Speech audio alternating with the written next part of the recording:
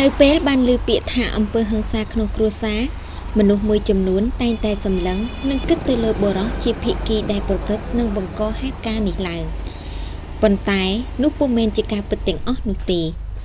លោកឆាយកឹមសរគឺជាបុរសគំរូម្នាក់ដែលធ្វើការនៅអង្គការ Gender និងអភិវឌ្ឍដើម្បីកម្ពុជាលោកកើតក្នុងគ្រួសារអ្នកមធ្យមធម្មតាដែលឪពុករបស់លោកក៏ជាអ្នករៀនសូត្របានមធ្យម លោកបានបង្កើតបណ្ដាញបុរសកម្ពុជាដើម្បីបំបត្តិអំពើហិង្សាប្រឆាំងនឹងស្ត្រី ដែលមានបុរសចំនួនជាង1000នាក់យុទ្ធនាការនេះធ្វើឡើងដើម្បីចូលរួមអប់រំដល់បុរសដែលធ្លាប់បានប្រព្រឹត្តអំពើហិង្សា ការធ្វើយុទ្ធនាការគូស្នេហ៍និងធ្វើញត្តិគាំទ្រផ្សេងៗ បណ្ដាញបរោះនេះបានបង្កើតឡើងនៅឆ្នាំ2000ដោយលោកមានទស្សនៈចង់ផ្លាស់ប្ដូរគំនិតបរោះដែលធ្លាប់តែគិតថាការងារផ្ទះពុំមែនជាការងារបរោះនិងទស្សនៈផ្សេងផ្សេងដែលបរោះតែងតែគិតខុសនិងបង្កឲ្យមានអំពើហិង្សានៅពេលដែលគេនិយាយថាចាប់រំលោភឬក៏យាយីផ្លូវភេទឬការរើសអើងលើស្ត្រីឬក៏អំពើហិង្សាបរោះវាយធ្វើបាបស្ត្រីប្រៃវាយធ្វើបាបពុនហ្នឹង ខ្ញុំជាបរោះឬក៏បរោះដែលតេទៀតដែលល្អល្អហ្នឹងគាត់ទទួលការឈឺចាប់ពីការរិះគន់ពីសង្គមហ្នឹងឯងព្រោះអីគាត់អត់បានធ្វើផងអញ្ចឹងគាត់បរោះដែរអញ្ចឹងវាអាចមានប៉ះពាល់ទៅលើគាត់ដូច្នេះបានយើងប្រមូលថាបរោះដ៏ល្អល្អហ្នឹងមករួមគ្នាហើយជួយរួមចំណែកផ្សព្វផ្សាយលោកឆាយកំសរមានកូនប្រុស2នាក់លោកធ្វើការងារផ្ទះដោយបំដែកគិតថានេះជាការងារសម្រាប់ស្ត្រីនោះឡើយ លោកទទួលបន្ទុកឪពុកម្ដាយជរា ចំណែកភរិយាលោកកុំសរក៏ជាមន្ត្រីរាជការផងដែរប៉ុន្តែលោកបានបែងចែកពេលវេលាសម្រាប់ពេលនៅផ្ទះនិងការងារបរោះគេតែងតែសង្ឃឹមគិតថា គេនឹងទទួលបានដូចថាគេជាអ្នកធំនៅក្នុងគ្រួសារបរោះនឹងមិនត្រូវចាញ់ស្ត្រីទេកណ្ដាលអ្នកណាដែលស្ដាប់ស្ត្រីអីចឹងគាត់អន់អីចឹងឧទាហរណ៍ចឹងណាគាត់ទទួលបានអញ្ចឹងសង្គមឲ្យតម្លៃទៅលើគាត់អញ្ចឹងដល់សង្គមឲ្យតម្លៃទៅលើគាត់អញ្ចឹងយើងយល់ខុសអញ្ចឹងធ្វើឲ្យបរោះសង្ឃឹមថាគាត់ត្រូវតែមានតួនាទីអញ្ចឹងគាត់ត្រូវតែទទួលបានអញ្ចឹងកណ្ដាលគាត់អត់ទទួលបានគាត់ភ័យខ្លាចនឹងការបាត់បង់គាត់ត្រូវប្រើអំណាចប្រើទង្វើអ្វីមួយដែលមិនគប្បីទៅលើស្ត្រីឬក៏លើក្នុងសង្គមហ្នឹង ហ្នឹងជាជាបញ្ហាណា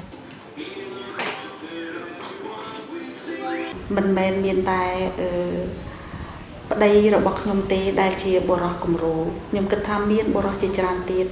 ដែលយើងមិនទាន់បានរកឃើញថាគាត់នឹងក៏ជាមនុស្សក៏ជាបរោះដែលល្អហើយអាចល្អជាងក៏ថាបានប៉ុន្តែគ្រាន់តែថាយើងមិនទាន់បានរកឃើញឬក៏ស្រាវជ្រាវឃើញ ចំពោះបរោះនំទាំងអស់នំជារៀងរាល់ឆ្នាំបរោះនៅលើពិភពលោកពាក់ខ្សែបូពណ៌សពីថ្ងៃទី25ខែវិច្ឆិកាដែលជាទិវាអន្តរជាតិស្ដីពីការលុបបំបាត់ចោលអំពើហិង្សាប្រឆាំងនឹងស្ត្រី រហូតដល់ថ្ងៃទី10ខែធ្នូត្រូវនឹងទិវាសិទ្ធិមនុស្សអន្តរជាតិគោលបំណងសំខាន់របស់ខ្ញុំគឺថាចង់ចូលរួមក្នុងការរួមចំណែកធ្វើយ៉ាងណាឲ្យបរោះបានមើលឃើញពីទូនាទីគំរូរបស់ពួកគាត់ក្នុងការទប់ស្កាត់អំពើហិង្សាលើស្ត្រីនិងកុមារ ការពាក់ខ្សែបូពណ៌សគឺជាការសន្យាផ្ទាល់មិនប្រព្រឹត្តអំពើហិង្សាប្រឆាំងនឹងស្ត្រីមិនលើកលែងទោសដល់អ្នកប្រើអំពើហិង្សាពីគឺជាការសន្យាថាមិនស្ថិតនៅស្ងៀមត្រូវប្រឈមមុខជាមួយបរោះដើម្បីឲ្យគេធ្វើសកម្មភាពបញ្ឈប់អំពើហិង្សាហើយបណ្ដាញបរោះក៏បានចុះធ្វើការឃោសនាគ្រប់22ខេត្តក្រុងក្នុងប្រទេសកម្ពុជាផងដែរការបង្កើតបណ្ដាញហ្នឹងហេតុអីបានខ្ញុំបានដឹងដោយសារអង្គការប្រឆាំងអំពើហិង្សា យើងក៏ជាបណ្ដាញមួយនៃអង្គការបណ្ដាញបរោះនៃអង្គការ Gender និងអភិវឌ្ឍកម្ពុជាដែរហើយអញ្ចឹងយើងក៏មានគោលបំណងដូចគ្នាដែរគឺថាចង់ធ្វើយ៉ាងម៉េចដើម្បីឲ្យក្រុមបរោះដែលជាអ្នកធ្លាប់ប្រព្រឹត្តបញ្ហាអំពើហិង្សាទៅលើដៃគូទៅលើក្រុមគ្រួសារគាត់នឹងបានយល់ដឹងពីបញ្ហាហ្នឹងហើយតើពួកគាត់នឹងត្រូវកាត់បន្ថយដោយរបៀបណាចា៎អង្គការប្រឆាំងអំពើហិង្សាក្នុងគ្រួសារបានគ្រប់គ្រងដល់បណ្ដាញបរោះ ព្រោះវាមានផលប្រយោជន៍ទៅថ្ងៃក្រោយក្នុងការជួយដល់ស្ត្រី និងផ្ដល់គំនិតដល់បុរសក្នុងការកាត់បន្ថយអំពើហិង្សាក្នុងគ្រួសារចុះចំណែកមតិសាធារណជនវិញនោះតើពួកគេយល់យ៉ាងណា ចំពោះការបង្កើតបណ្ដាញបរោះនេះបញ្ហានេះខ្ញុំមិនដែលបានដឹងដែរប៉ុន្តែបើសិនបើមានណាជាជាករណីមួយល្អដែរពីព្រោះថាកន្លងមក វាមិនដែលមានបរោះណាទៅជួយទប់ស្កាត់ទេវាមាននៅក្នុងគ្រួសារបើតែឆ្លោះប្រកែកគ្នាវាយតប់គ្នាទៅក្នុងគ្រួសារហ្នឹងណាដល់ឥឡូវមាន ជាក្រុមអ្នកបរោះដែលជួយសង្គ្រោះអញ្ចឹងគឺជាការមួយល្អកន្លងមកភាគីដែលបង្កចំនួនគឺខាងប្រុសនឹងឯងណាវាមិនទៅមានភាគខាងច្រើនស្រីអីវាមិនសូវមានតែដៃដល់អីទៅវាយបរោះអីមុនអញ្ចឹងទេប៉ុន្តែបើបរោះគិតថាខ្លួនឯងចង់ប្រឆាំងនឹង